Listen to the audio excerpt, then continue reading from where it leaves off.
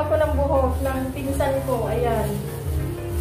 Ah, tapos naman na tayo sa luto-lutuan. Dito tayo sa ano naman, beautician naman ang lula niyo ngayon.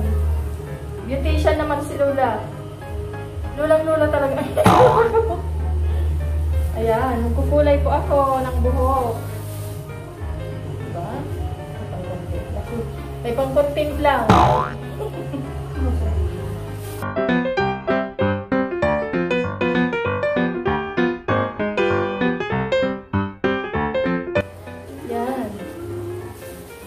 Mamaya, papakita ko po sa inyo ang ang ano.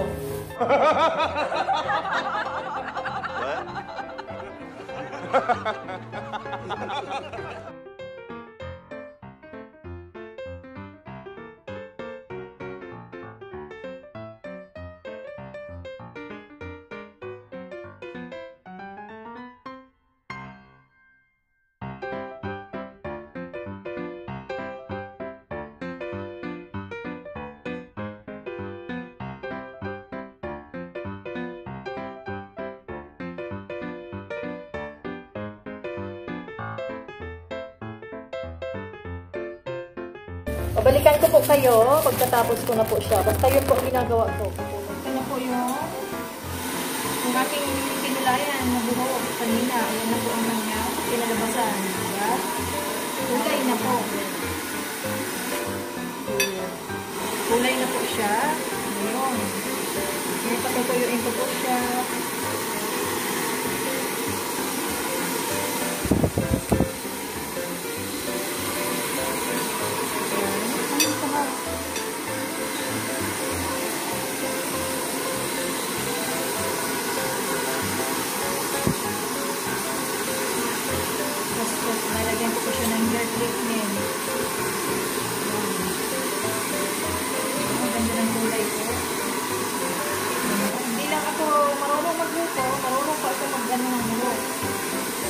Beautician ba?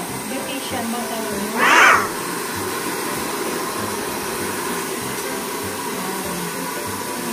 Uh, i-blow dry natin ang kanyang hair para matuyo before applyan ng hair treatment.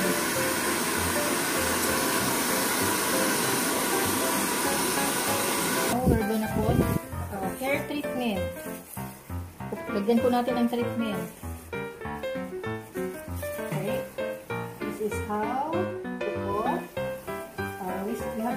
Here. Uh, and the, before this one,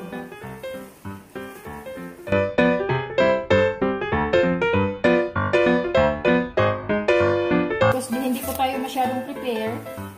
Ang aking vlogs ko ay plastic-plastikan lang po muna. Parlur-parluran lang po ito. Pero sa totoo lang, kaya ko po talaga po gumawa. Ah, kaya hindi na siya nagtawag ng parlor ng, ng parlorista. Kasi, Beautician. malaki tiwala niya sa akin.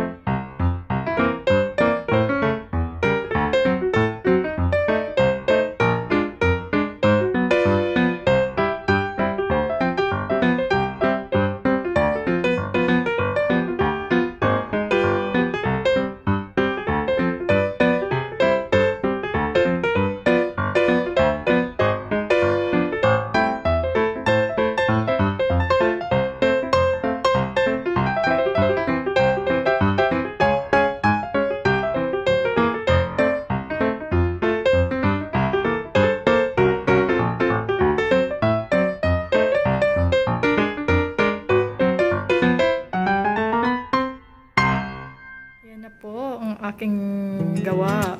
Finished product ng kanyang buhok. Na kinulayan, tapos ah, nilagyan ng hair treatment, pinalansya, at ayan na po siya ngayon.